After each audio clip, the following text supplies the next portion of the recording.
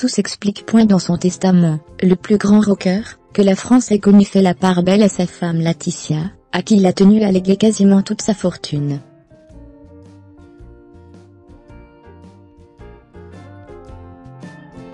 Depuis sa mort, la famille Hallyday se déchire autour de son héritage, et selon Lena Luto, cette situation prend racine pendant le coma de Johnny, en 2009.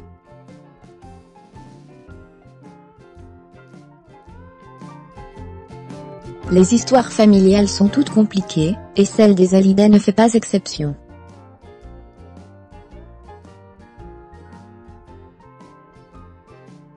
Depuis la mort du rocker, il y a près d'un an, le clan Boudou, et celui de Laura et David s'affrontent sans merci, dans le but de récupérer l'héritage de Johnny.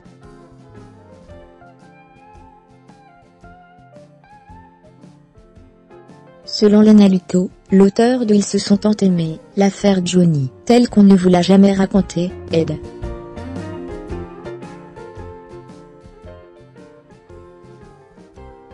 Albin Michel.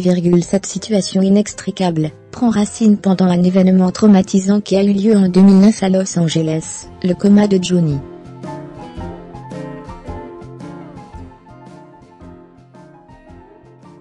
À ce moment-là, deux choses se passent simultanément, une prise de conscience et une dispute.